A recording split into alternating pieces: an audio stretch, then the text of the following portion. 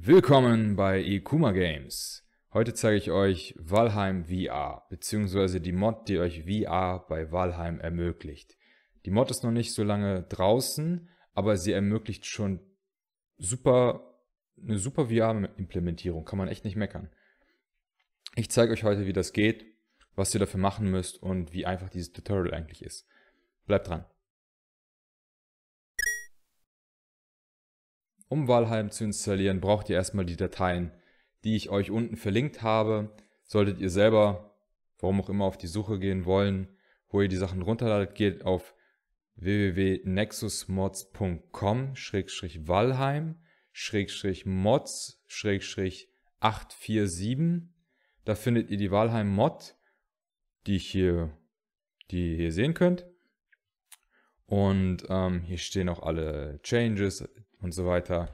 Warum ich das jetzt gerade ähm, euch zeigen möchte, ist, dass es Version 0.2.0 gibt, die Look-Based Locomotion ähm, einfügt, mit der ihr quasi, wenn ihr irgendwo hinguckt und euch dreht, dreht sich der Charakter mit. Vorher war das noch nicht so, da musstet ihr mit Maus und Tastatur bzw. mit Gamepad in eine Richtung euch bewegen und dann habt ihr euch aber weiterhin in die gleiche Richtung geschaut. Also wenn ihr euch nach vorne bewegt, aber ihr habt so geguckt, dann bewegt ihr euch nach da, aber ihr guckt nach, nach hier und müsst dann immer selber justieren mit dem Joystick. Kann sehr umständlich sein, manche spielen bestimmt gerne so. Für mich war das nichts, aber jetzt ist das super. Jetzt ist auch, wenn ihr mit dem Joystick euch bewegt, dann bleibt ihr mit dem Fokus in der Mitte. Aber wenn ihr den Kopf auch frei bewegt, dann bleibt der Mauszeiger sozusagen auch auf der Mitte. Das war für mich persönlich sehr wichtig, bevor ich diese Mod anfange zu spielen. So, kommen wir zur Installation. Um das Ganze zu installieren, geht ihr am besten, wie gesagt, auf, diesen, auf diese Nexus-Mod-Seite. Ich würde euch aber empfehlen, ganz runter zu scrollen oder auf den Link zu klicken, den ich euch da unten ähm, eingefügt habe. Dort findet ihr den Source Code und den GitHub-Link. Da klickt ihr einmal drauf und da habt ihr rechts Latest Releases quasi. Und da ähm, könnt ihr auch sicher gehen, dass ihr gerade die neueste Version von Valheim habt. Ich weiß jetzt nicht, wie schnell der das auch auf Nexus Mods äh, einfügt, aber hier bei GitHub werdet ihr wahrscheinlich sofort die neueste Version finden. Da klickt ihr immer drauf, scrollt runter und äh, ladet euch die ZIP-Datei hier einmal runter. So, als nächstes braucht ihr den BepIn-X-Pack, ist auch unten verlinkt. Da sieht die Seite so aus. Den müsst ihr hier manuell runterladen und abspeichern. Wenn ihr diese beiden Dateien habt, mehr braucht ihr übrigens nicht, total easy, ähm, müsst ihr noch ein paar Sachen vorher erledigen, bevor ihr das Ganze installiert. Ihr geht bei Steam auf Valheim, ähm, sucht das Ganze und dann müsst ihr auf Eigenschaften gehen und hier den VR-Kino-Modus deaktivieren. Also das Häkchen muss weg sein. Das ist ganz wichtig. Als nächstes ähm, müsst ihr rausfinden, wo ihr das Spiel installiert habt. Da geht ihr einfach auf Verwalten bei Steam und dann auf lokale Dateien durchsuchen und dann wird euch der Ordner angezeigt, wo Valheim installiert ist. Ich habe die Mod schon drauf, das sollte ein bisschen weniger sein, aber das ändert nichts. Wenn ihr das Ganze runtergeladen habt, habt ihr das natürlich sicherlich in einem Ordner, bei mir ist es der Valheim Mods Ordner, da müsst ihr die beiden ZIP-Dateien entpacken in die jeweiligen Ordner. Es wird empfohlen, das Ganze erst separat zu entpacken und dann ins Spiel einzufügen und nicht gleich direkt ins Spiel zu, hinzuzufügen. Das Ganze entpackt ihr, da habt ihr hier zwei so schöne Ordner, die ZIPs können wieder weg. Und als allererstes fügt ihr den BepInPacks, BepInXPack Ordner den öffnet ihr und dann geht ihr auf webinexpack-valheim, das öffnet ihr auch. Und diesen Inhalt hier, den kopiert ihr einfach in euer Spiel und lässt das Ganze überschreiben, sofern notwendig. So. Und als nächstes geht ihr wieder zurück in euren Mod-Ordner und installiert die Mod. Da klickt ihr einmal auch drauf und diesen Inhalt hier müsst ihr auch einfach überschreiben. So, und das war's auch schon. So, damit das Ganze gut funktioniert, müsst ihr ein paar Einstellungen deaktivieren. Dazu gehört Bloom, Anti-Aliasing, Motion Blur, Depth of Field und SSAO. Das könnte auf Deutsch ein bisschen anders heißen, müsst ihr gucken. Die Sachen müsst ihr alle deaktivieren, weil das für VR unpraktisch ist. Und ähm, das wär's dann auch schon. Dann könnt ihr das Ganze auch schon starten. Dann geht ihr einfach auf Steam, sorgt dafür, dass Steam VR schon aktiv ist hier. Ähm, das Ganze spielt ihr am besten mit dem Gamepad. Es wird an einem ähm, Motion Controller ähm, Update gearbeitet. Bin ich super ähm, äh, gespannt drauf, aber am besten spielt ihr das noch mit dem Controller oder mit Maus und Tastatur. Ich würde Controller empfehlen. So, ihr drückt dann Ganze aufs Spiel und dann sehen wir uns in-game. Okay, kleinen Schritt zurück. Nicht schlimm. Ihr hättet das Spiel sowieso vorher starten müssen. Wenn ihr das Spiel gestartet habt, also ihr müsst das Spiel vorher starten, sorgt dafür, dass die Einstellungen alle korrekt sind, beendet das Spiel wieder und dann müsst ihr nochmal eine kleine Sache ändern, um diesen Look-Based äh, Look Locomotion zu aktivieren. Der ist nämlich noch nicht ähm, aktiviert, zumindest bei mir nicht. Ich weiß nicht, ich habe natürlich schon hier und da gemoddet, vielleicht ist es schon standardmäßig. Überprüfen wir das Ganze einfach mal. Wir gehen wieder in den Ordner. Ähm, da gehen wir auf WebInX und auf Config und öffnen mit einem Notepad oder einem anderen Config-Bearbeitungsprogramm ähm, diese Datei hier. Die öffnen wir und suchen, das ist glaube ich schon direkt ganz oben, Setting this to true ties the direction you are looking to the walk direction. Genau, das ist richtig. Das ist auf false, das sollte auf true. Dann habt ihr diese look-based locomotion. Das Ganze speichern wir und dann können wir das Spiel erneut starten. Jetzt sind wir uns in-game. So, wir sind in-game.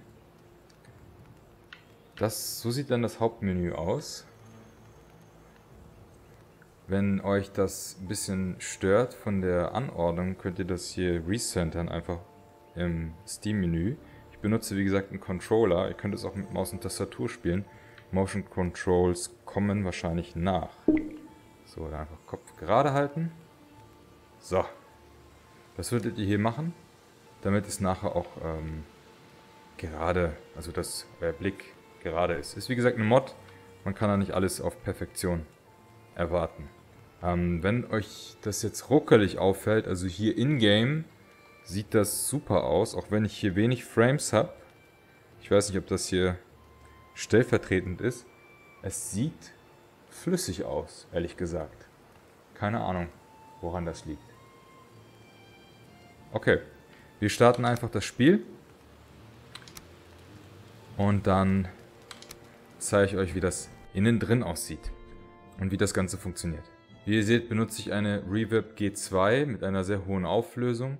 Und das Spiel sieht wirklich super aus da drin. Und es läuft auch besser, als ich es äh, als ich erwartet habe. So, jetzt seht ihr noch euren Charakter und schwupps bin ich drinne. So, und ich kann mich nach vorne und zurück bewegen. Und wie ihr seht, ich benutze den rechten Stick nicht, gehe geradeaus und mein Charakter läuft dahin, wo ich den Kopf bewege. Und wenn ich mit dem rechten Stick mich drehe, dann bleibt mein Blick vorne. Und wenn ich geradeaus gehe, gehe ich dahin, wo ich hinlaufe. Es gibt noch keinen Snap-Turn. Ähm, müsst ihr gucken, ob euer Magen das aushält. Es funktioniert für mich ganz gut. Also ich bin nicht komplett frei von Motion Sickness. Aber für mich funktioniert das super. So, ihr habt hier ein äh, UI. Ähm, das ist sehr weit auseinander, könnte an der Auflösung vom Headset liegen. Das kann man auch alle, aber alles in Einstellungen ändern, müsst ihr mal gucken ähm, in der Anleitung. Hier ist es jetzt so, mit der neuen Look-Based Locomotion, dass wenn ihr rennt, ähm, bleibt das hier bestehen. Also wenn ihr euch bewegt oder stehen bleibt, könnt ihr die Sachen hier anschauen. Aber wenn ihr euch natürlich wegbewegt, kommt das so schrittweise hinterher. Und dann könnt ihr die Sachen anschauen.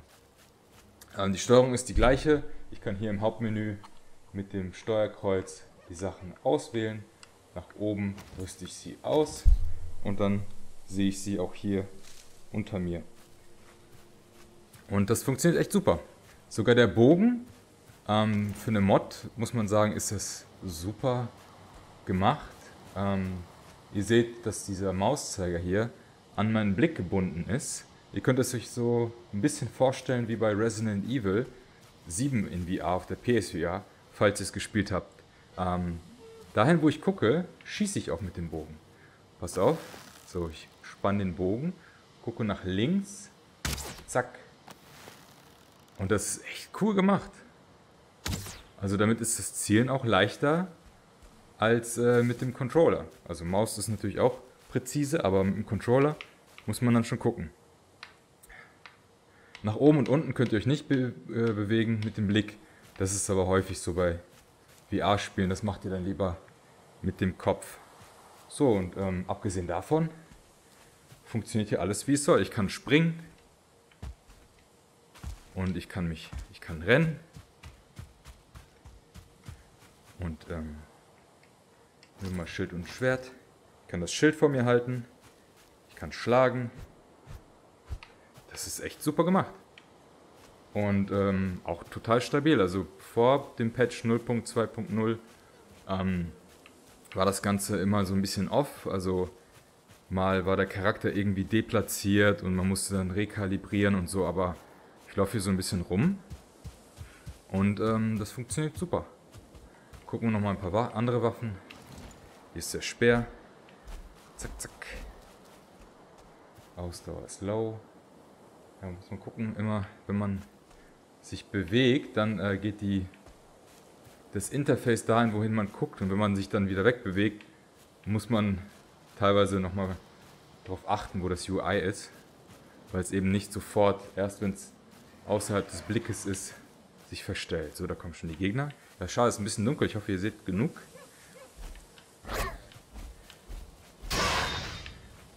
es.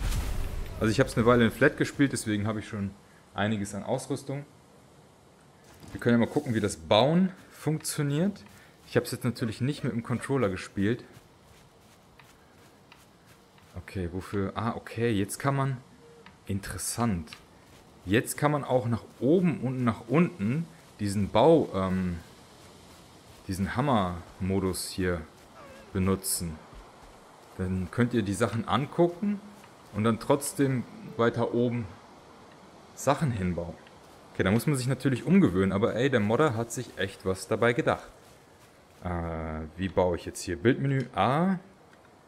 Und dann kann ich hier zum Beispiel hier so eine Feuerstelle. Und dann kann ich hier hoch und runter drücken und das Ding wegtun und zu mir packen. Mit einem Blick. Ne, der Blick ist dann doch also der Baumodus funktioniert doch so ein bisschen wie ein Mauszeiger, also nicht blickorientiert. Also das ist interessant. Also das mit dem Bogen funktioniert blickorientiert und das Bauen dann eben nicht. Der Modder hat da echt viele Facetten des Spiels ähm, mit einbezogen. So kann ich das jetzt. Ah, okay, ich kann hier nicht bauen. Hier ist dieser Anfangsbereich. Dann rennen wir mal raus. So.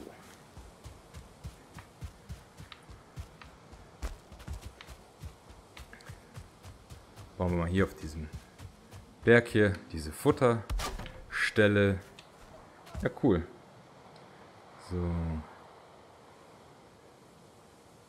Remove. Jetzt weiß ich nicht, wie mache ich das Menü wieder weg. Haben wir einfach. Oh, jetzt habe ich irgendein, irgendeine Fähigkeit aktiviert. Wie, wie gesagt, oh, ich bin äh, nicht gewohnt mit dem Controller zu spielen. Ähm, wenn man sich das vorher so ein bisschen angeeignet hat, dann sollte das ganz gut funktionieren. So, wir gucken mal, wie es aussieht, wenn ich einen Baum fälle. Hoffentlich macht er mich nicht platt.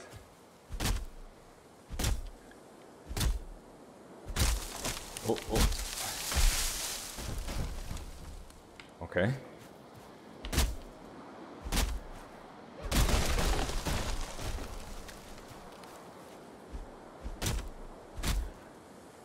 Wenn sich der Charakter natürlich sehr stark bewegt, dann seht ihr den hier vor euch ohne Kopf.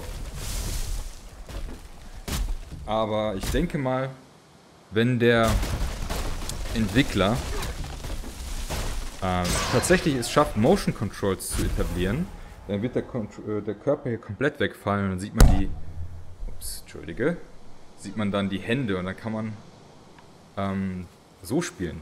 Als nächstes möchte der Modder ähm, erstmal dafür sorgen, dass man die Motion Controls als Steuerung nimmt, also dass man kein Gamepad braucht.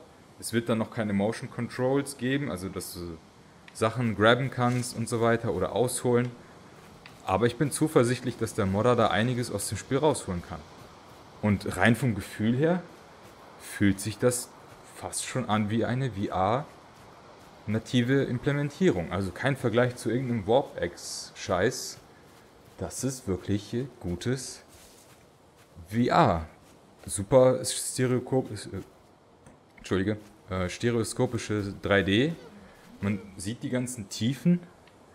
Ich kann äh, vor und zurück und ähm, mein Charakter.